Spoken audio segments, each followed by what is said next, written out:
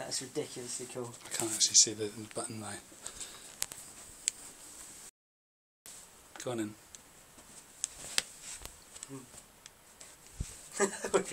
um, right, if I just, I just show, and then.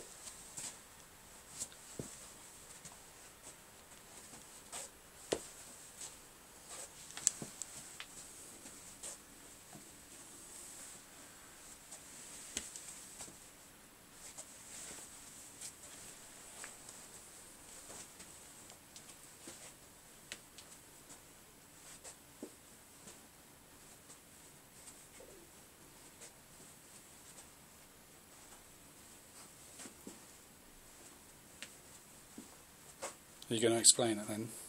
No, I'll probably just um, do some text to do that. Okay. It's literally a proof of concept, isn't it? That'll do fine. That's, that, that, that looks good from there actually.